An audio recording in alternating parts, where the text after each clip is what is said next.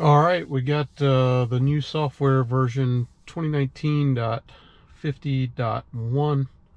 Um, most people have probably already seen the release notes. I'll just go through them pretty quickly. Um, what, what I'm excited to try real quickly here is the driving visualiz visualization improvements. So now we'll be able to see stop signs and stoplights, and um, people are even talking about being able to see turn lanes uh, with the turn arrows, the X before a, uh, a railroad crossing, bike lanes, etc. So um, I've got a little bit of everything uh, right near my house to test out. I can't think of a railroad crossing, but uh, we definitely have some bike lanes, plenty of stop signs and uh, and stoplights. And then the voice commands, uh, they've they've really improved the voice commands. They've expanded it quite a bit. Um, and then the phone improvements, it will now be able to read your uh, text messages to you, and uh, you're supposed to be able to dictate back and send them. Um, I did notice when the car booted up from the software, um, when it did the reboot after the software update, it uh, I got a message request on my phone um, asking uh, to give permission to the car to access my messages. So um, if you if you're not getting that sort of request from your phone, uh, you may want to unpair and repair and kind of force that. Camp mode, which uh, this is cool. Uh, I, I, personally, I don't care anything about it. I'm not really going to camp in my car, but um, I, you know, that's that's a nice thing to have.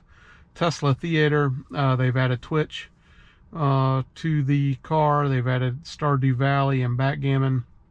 Um, and then this is the voice keyboard where you can dictate uh, or respond to a text message and it will um, input it and supposedly send it. TRAX, I, you know, who knows what this is. It's, it's supposed to be a, uh, basically like the sketchpad, but you can create your own music. Um, I'll try that out when I get really bored, but that's not today.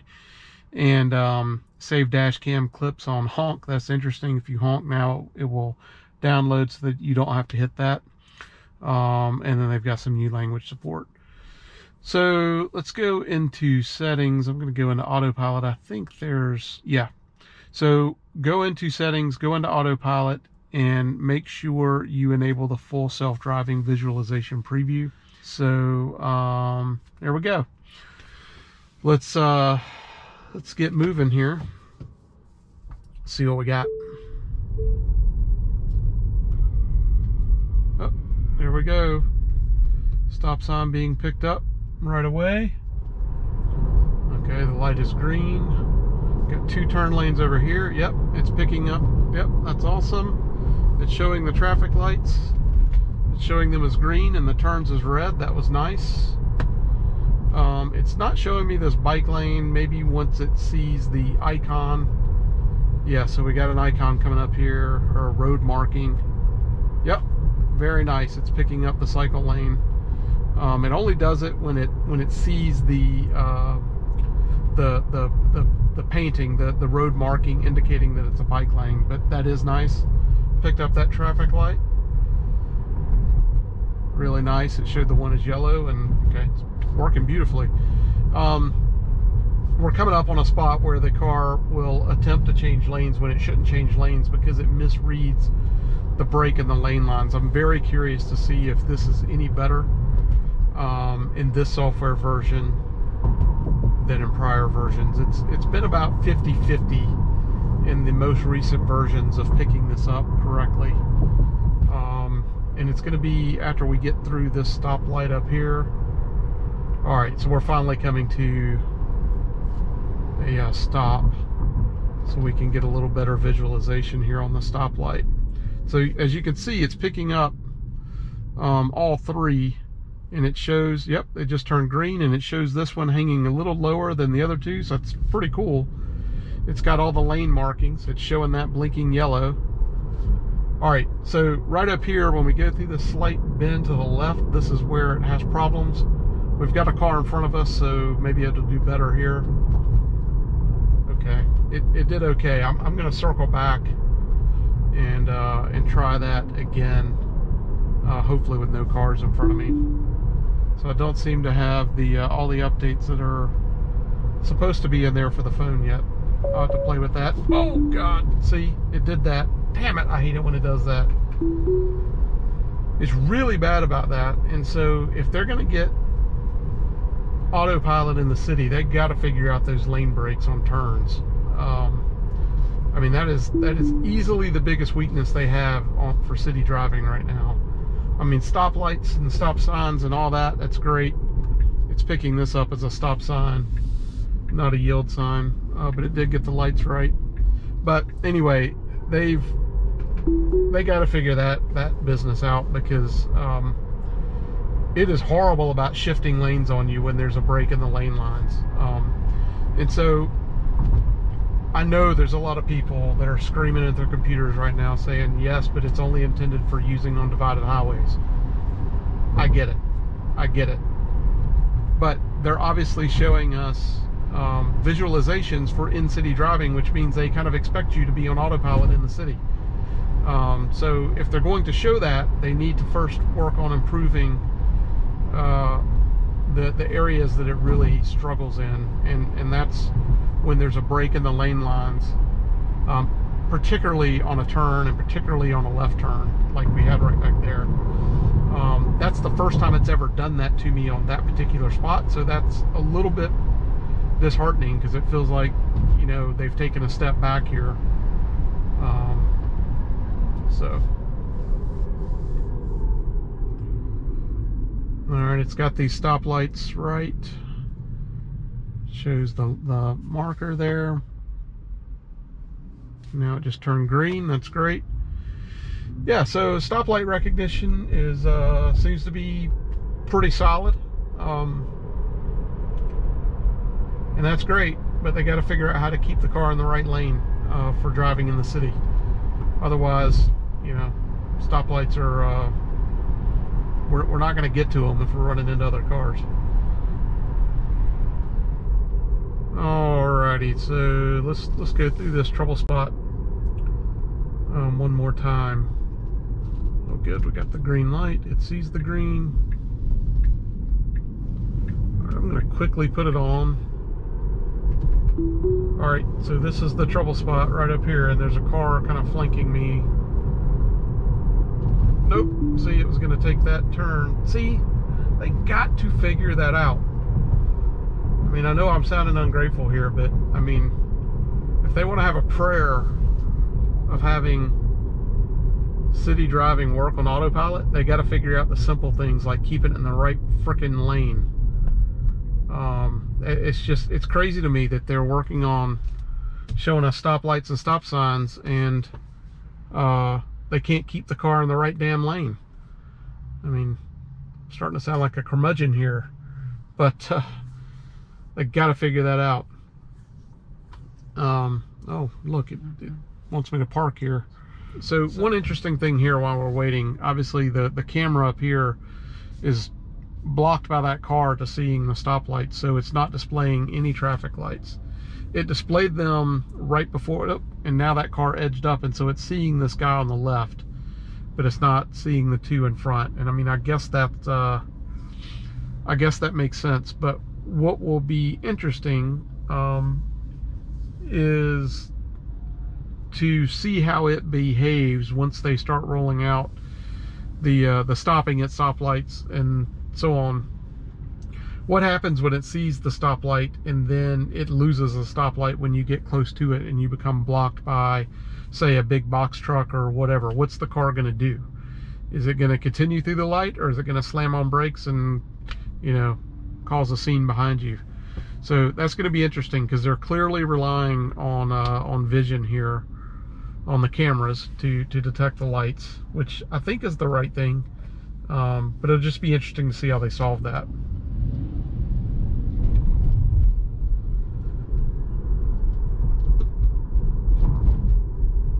All right, so it sees the lights now, no colors yet.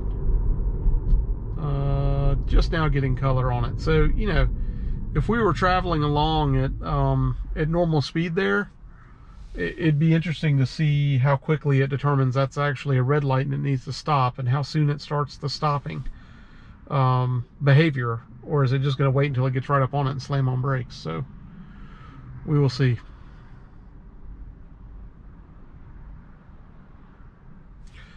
You know, so it's picking up all four of these lights, but it's interesting. It's got the one on the right. It's got it very far back and there's no color on it. Um, and it looks to me like all of those are pretty much in a, in a straight line. Um, and it's also not picking up the fact that this is a, you know, a, a, a double light, so to speak, with a, with a turn arrow. We'll see, we'll see what it does as I nudge forward here. I'm going to nudge forward just a little bit. Mm -hmm. Oh, it's not updating. All right, showed those turning green, so that's nice. Yellow, yep. Red. All right, so it's it's picking up pretty quickly um, on the changes in the stoplights. Green, got it. I'm gonna kind of go through here slowly. It still has that one standing off and it never picks up that it's a double, so that's interesting. Okay, so a quick recap. Um, the visualizations are great. Uh, they're spot on. They detect the uh, stop lights and stop signs right away. That's fantastic. Uh, um, I've, I've noticed, I've driven around a little bit more. The, uh, the, it even picks up on blinking yellow lights and it's pretty much real time, which is awesome. Uh, as soon as the light turns green, it picks up. As soon as it turns red, it picks up. Um, it's clear that it's doing it based on uh, line of sight. So the I believe the front cameras need to be able to see the stoplight, um, which is cool.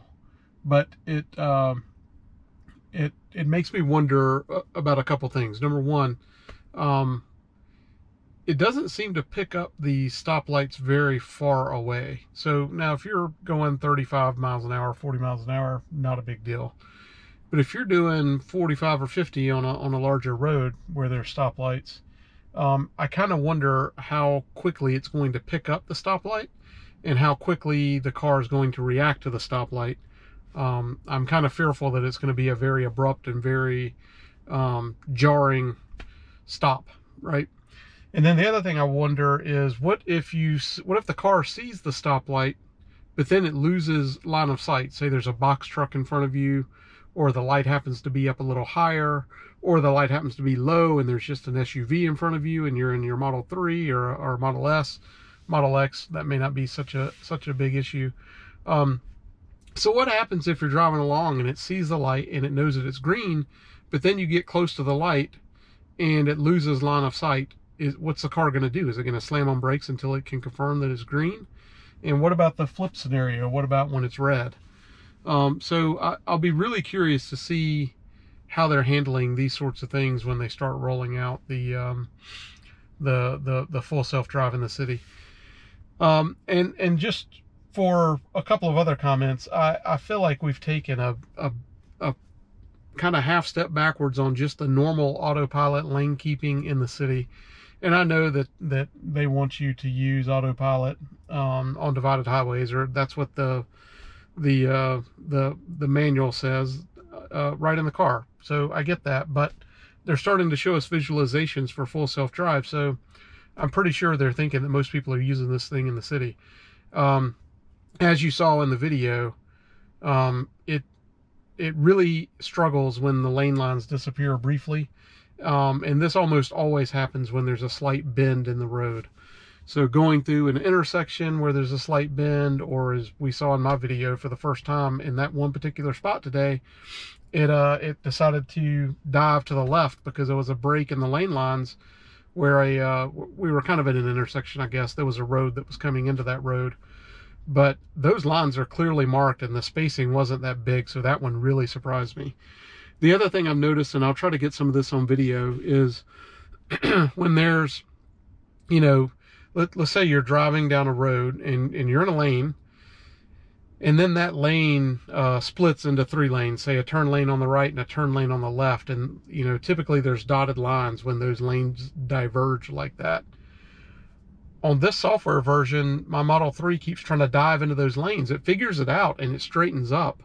Um, and it ends up in the right spot, but it it it's getting confused um, in spots where it didn't used to get confused. So uh, all this is really just a long-winded way of saying um, that I, I would really like to see some improvement from Tesla on that sort of behavior uh, sooner rather than later because rolling out things where we can see the stoplights and the stop signs and the road markings and and all of these things is great. Um, but it it doesn't give me any more confidence that they're going to be able to nail city self-driving if they can't even keep the the car in the right lane uh, in a pretty innocuous situation where you know even a, a brand new teenage driver uh, would know what to do. So I really want them to focus on those areas before we start getting, uh, you know, into into higher level things like stop signs, stop lights, and right turns and left turns.